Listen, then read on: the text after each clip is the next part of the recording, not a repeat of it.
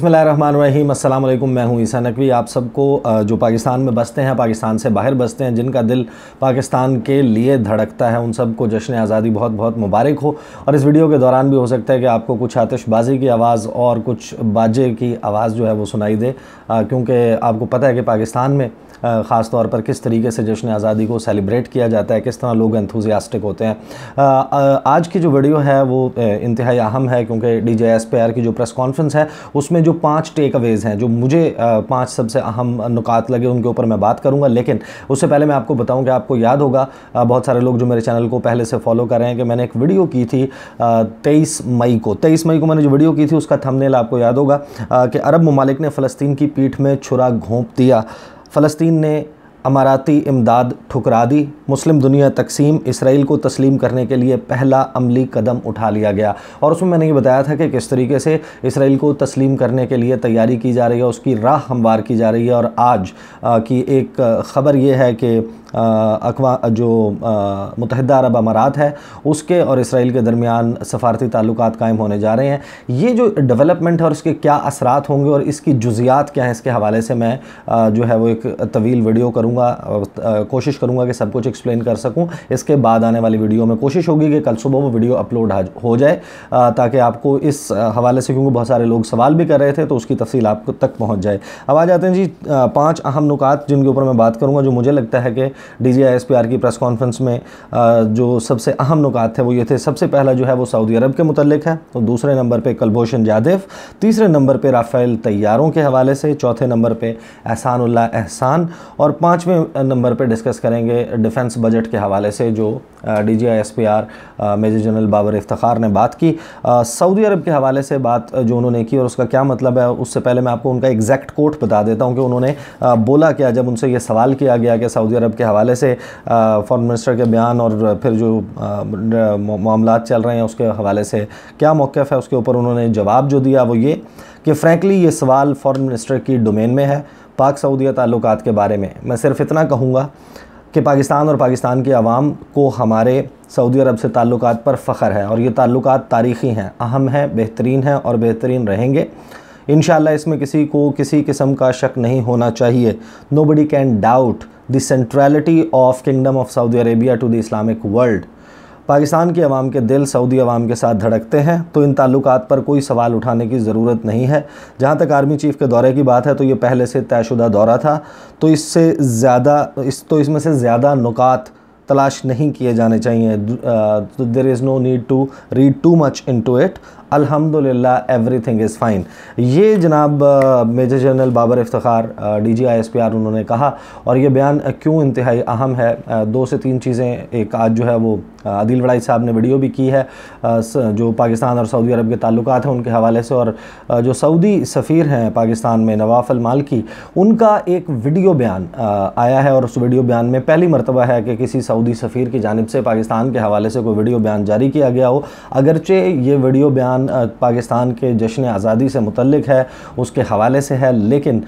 ये माना ज़रूर रखता है क्योंकि ये पहली मरतबा है कि किसी सऊदी सफ़ीर ने पाकिस्तान को जश्न आज़ादी की मुबारक किसी वीडियो बयान के ज़रिए दी गई हो, जिसका जो अख्ताम है वो पाक सऊदी दोस्ती जिंदाबाद उन्होंने ख़ुद कह कर जो है वो ये पैगाम दिया हो और एक और पहलू ये कि वो उर्दू में बयान दिया गया है। इसकी जुजियात क्या है इस बयान की वो आप अदिल बड़ाई साहब की वीडियो में देख सकते हैं, लेकिन हमने ये देखा कि फ़ॉरन मिनिस्टर की जो जो उनकी स्टेटमेंट थी, उसकी वजह से पाकिस्तान और सऊदी अरब के ताल्लुक में जो डिप नज़र आ रहा था, उसके हवाले से बहुत ज़्यादा चैमगोइयाँ भी हो रही थी और फिर मैंने अपने एक वीडियो में बताया कि एक डिप्लोमेटिक एफ़र्ट जो है, वो स्टार्ट हो गया है, कोशिश हो रही है कि मामला को तय किया जाए, हल किया जाए। उसके बाद आर्मी चीफ़ से सऊदी सफ़ीर की मुलाकात हुई। आर्मी चीफ़ का दौरा होना है सऊदी अरब का, जिसके हवाले से D J S P R ये कह रहे हैं कि उसमें जो है वो ये पहले से तयशुदा दौरा है, लेकिन बेशक दौरा पहले से तयशुदा हो, ये ये भी तयशुदा बात है कि मौजूदा हालात के तनाजर में इसकी अहमियत जो है वो इस बयान के तनाजर में भी है कि पाकिस्तान और सऊदी अरब के दरमियान जो एक नज़र आया कि जिस तरीके से ताल्लुक जो हैं वो शायद बिगड़ रहे हैं, बहुत बिगड़ गए हैं, मज़ीद बिगड़ सकते हैं तो उसके हवाले से उस पर ज़रूर बात होगी। और ये आप जब भी कोई प्रेस कॉन्फ्रेंस देखते हैं, ये एक रोज़ के बाद डी जी की प्रेस कॉन्फ्रेंस थी, उनचास मिनट दौरान ये की थी। इसमें एक ओपनिंग स्टेटमेंट होती है, एक वो स्टेटमेंट होती है जो किसी भी प्रेस कॉन्फ्रेंस करने वाले की। चाहे वो फॉरन फॉरन ऑफ़िस में हो रही हो आईएसपीआर में हो रही हो, कोई सियासी लीडर प्रेस कॉन्फ्रेंस कर रहा हो, एक होता है कि आप अपना मुद्दा बयान करते हैं, आप एक ओपनिंग स्टेटमेंट देते हैं, जिसमें आप जिन टॉपिक्स के ऊपर बात करना चाहते हैं, माहौल बनाते हैं प्रेस कॉन्फ्रेंस का, आप वो सारे नुकात बयान कर देते हैं। उन उस, उसके हवाले से जो है उन्होंने बहुत सारे अहम इशूज़ पर बात की, कश्मीर पर बात की पाकिस्तान के योम आज़ादी पर बात की, पाकिस्तान फ़ौज की जो मुख्तलिफ़ एक्टिविटीज़ हैं उनके हवाले से बात की, उन्होंने जो बॉर्डर फेंसिंग के हवाले से जो बाढ़ लगाई जा रही है पाकिस्तान और अफ़गानिस्तान के सरहदी इलाकों में, पाकिस्तान और ईरान के सरहदी इलाकों में, उसके हवाले से बात की मुख्तलिफ़ इशूज़ पर बात की, लेकिन उनमें ये जो सारी जिनके ऊपर मैं बात कर रहा हूँ, ये तमाम वो हैं जो सवालत के जवाब के सूरत में आए, क्योंकि वो जो उनकी ओपनिंग स्टेटमेंट थी, वो ज़्यादातर पाकिस्तान की स्टेटेड रियासती पॉलिसी जो है,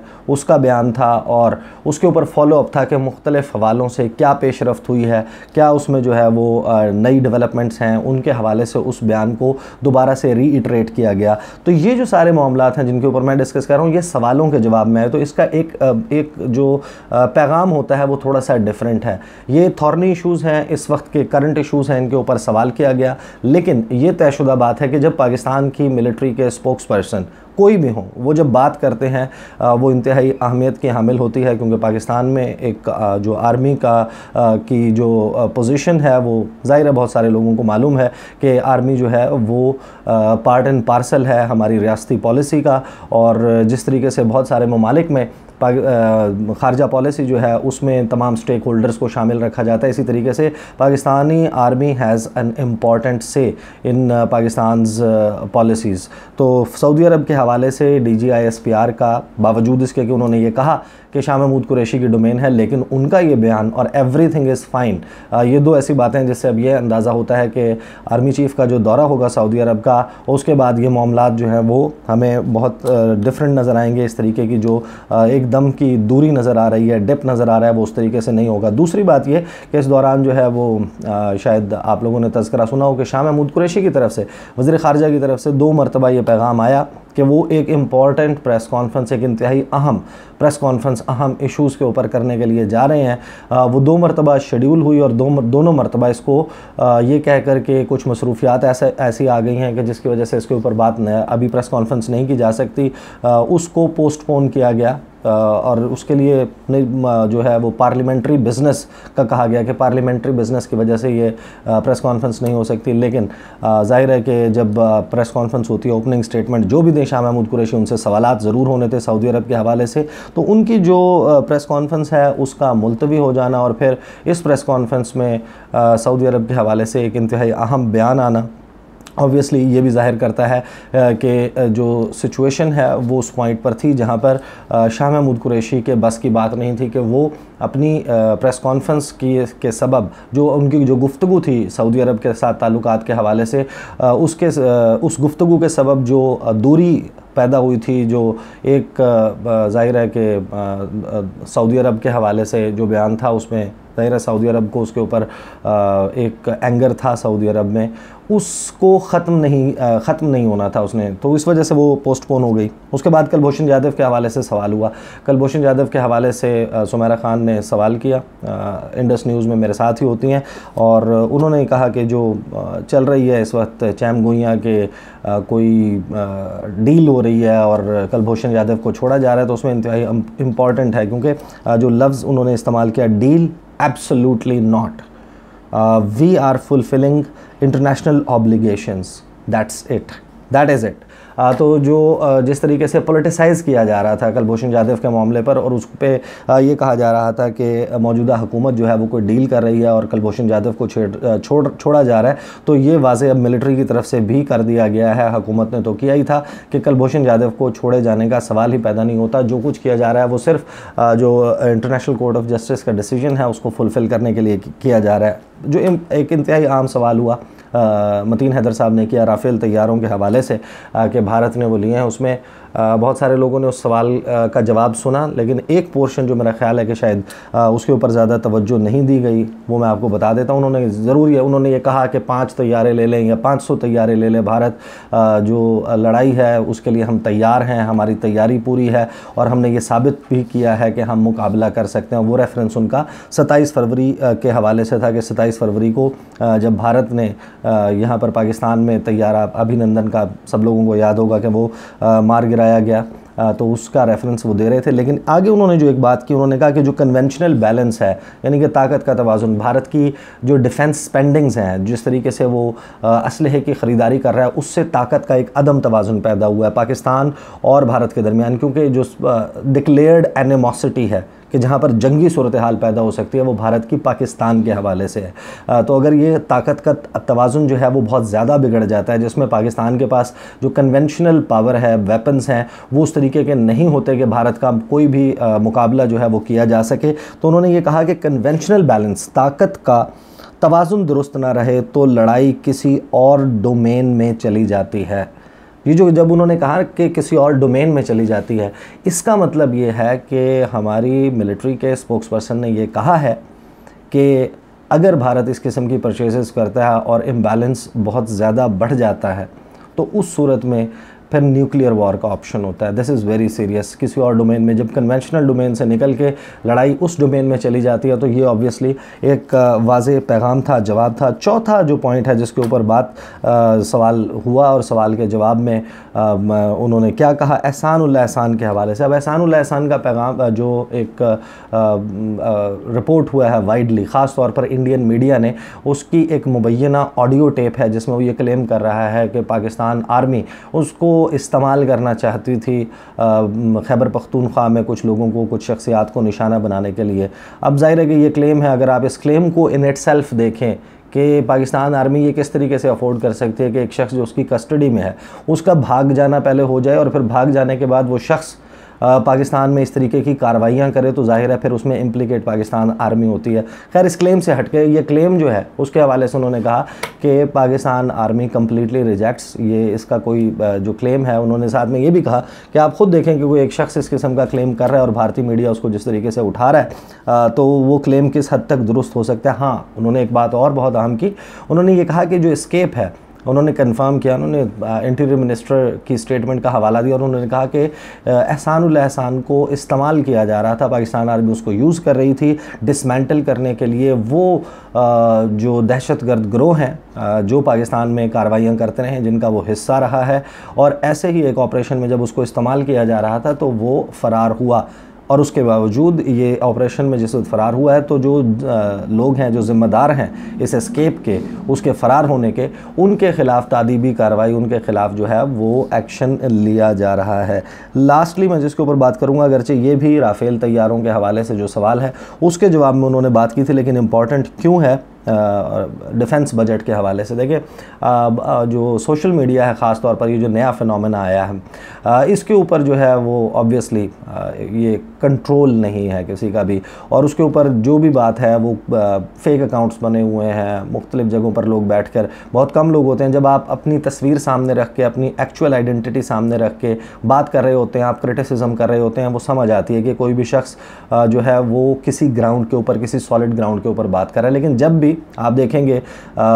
और उसमें हर हर तरफ़ को आप देख लें यानी कि जो तनकीद करने वाले हैं, तारीफ़ करने वाले हैं। लेकिन जो भी शख्स अपनी असल आइडेंटिटी इस्तेमाल नहीं कर रहा, अपना चेहरा सामने नहीं ला रहा, उसके क्रेडेंशल्स नोन नहीं है, मालूम नहीं है कि ये है कौन जो ये बात कर रहा है तो इस किस्म के जब अकाउंट्स हैं, उनसे आप देखें कि बहुत सारे ट्रेंड्स बनते हैं, बात होती है। और उसमें जो है, वो पाकिस्तान को मलाइन किया जाता है, पाकिस्तान के इदारों को मलाइन किया जाता है, पाकिस्तान के पॉलिटिशियंस को अक्रॉस द बोर्ड मलाइन किया जाता है। पाकिस्तान के मीडिया के हवाले से गुफ्तु की जाती है। तो ये एक ऐसा ट्रेंड ऑब्वियसली है कि जिसने एक नई जो है वो जहत वो सामने लेकर आया कि ये भी एक ऐसा पॉइंट है जिसके ऊपर यूजली ऐसा नहीं होता कि पाकिस्तान के स्टेट इंस्टीट्यूशंस ऐसे ऐसे मामला के ऊपर जवाब दें, लेकिन जिस वक्त हमारे सोशल मीडिया के ऊपर इस किस्म की बातें होती हैं कि शायद पाकिस्तान का जो पूरा का पूरा बजट है, वो पाकिस्तान आर्मी को जाता है तो उसके हवाले से उन्होंने बात की। ज़ाहिर है कि जो मेन स्ट्रीम मीडिया है टीवी चैनल्स हों अखबार हों, उसमें इस किस्म की बातें जो हैं, वो नहीं होती। सोशल मीडिया का रेफरेंस है यहाँ पर कि डिफेंस बजट जो है वो चौरासी फ़ीसद है। चौरासी फ़ीसद डिफेंस बजट का मतलब ये है कि वाकई पाकिस्तान में अगर ऐसा हो तो उसका मतलब तो यही है कि पाकिस्तान में आर्मी जो है, उसको सारा पैसा मिल जाता है पाकिस्तान की फोर्सेस को और किसी के पास कुछ नहीं बचता। उन्होंने ये क्लैरिफाई किया कि सत्रह फ़ीसद बजट है जो पाकिस्तान आर्मी का है और दस साल जो गुजशत है उनको अगर देखा जाए तो ये डिफेंस बजट डिफेंस स्पेंडिंग जो है, इनकी ट्राजेक्ट्री नीचे की जानब है। डिफेंस बजट बढ़ नहीं रहा, कम हो रहा है और पिछले दो साल का रेफरेंस ख़ास तौर पर उन्होंने देते हुए कहा कि ये जो इन्फ्लेशन ऐड होती थी कि जो इन्फ्लेशन का एक एडिशन होती है हर साल तो गुजशत दो सालों में इस बजट में इन्फ्लेशन को भी ऐड नहीं किया गया। ये बात जो, ये ये जो गुफ्तु है, उनचास मिनट की प्रेस कॉन्फ्रेंस है, इसमें ऑब्वियसली मैंने सारा मामला एक्सप्लेन कर चुका हूँ और अगली वीडियो में जो है, हम बात करेंगे इसराइल के हवाले से अब जो मुतहदा अरब अमारात करने जा रहा है और मुतहदा अरब अमारात का अब आने वाले दिनों में, आने वाले महीनों में, आने वाले सालों में गल्फ़ में क्या रोल होगा? इस्लामी ममालिक के हवाले से उसका क्या रोल होगा? अमेरिका और इसराइल मिलकर किस, क्या कोई ताजपोशी करने जा रहे हैं? उसको कोई एक नया क्राउन मिल रहा है, कोई एक नई रिस्पॉन्सिबिलिटी भी मिल रही है। क्योंकि ये एक ऐसा ड्रॉपलेट है जो एक पहला कतरा है। ये आया है सामने, पहला अमली कदम हमें नज़र आ गया है कि अमली तौर पर इसराइल को तस्लीम करने के हवाले से, उसके साथ डिप्लोमेटिक ताल्लुक कायम करने के हवाले से जो कदम उठाया है मुतहदा अरब अमारात ने, इसके रेपरकशंस होंगे, इसके रेमिफिकेशंस होंगे। इसके ऊपर अगली वीडियो में बात करेंगे। अगली वीडियो में आपके साथ मुलाकात होगी। मुझे इजाज़त दीजिए। अल्लाह हाफ़िज़।